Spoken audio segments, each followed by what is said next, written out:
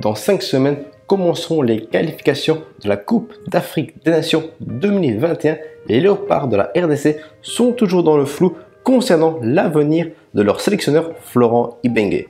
On ne sait toujours pas s'il va continuer ou s'il va être limogé.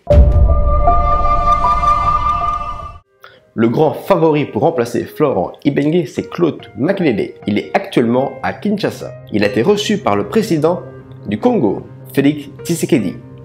Pour moi, c'est le candidat idéal parce que c'est un ancien grand joueur, il connaît le très haut niveau, il est passé par le Real, par Chelsea et par le Paris Saint-Germain. Il a un réseau intéressant, ce qui n'est pas négligeable, d'autant plus que les joueurs l'admirent. Il instaure directement le respect vu que c'est un grand nom, contrairement à Florent Ibengue.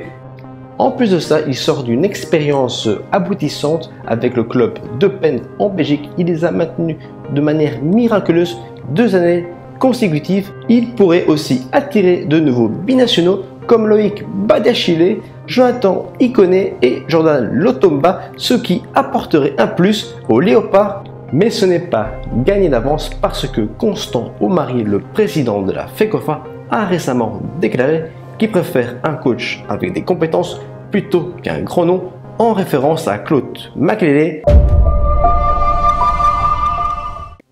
J'espère qu'il prendra la bonne décision et qu'il annoncera le départ de Florent Ibengue dès cette semaine et qu'il annoncera la venue de Claude Makelele.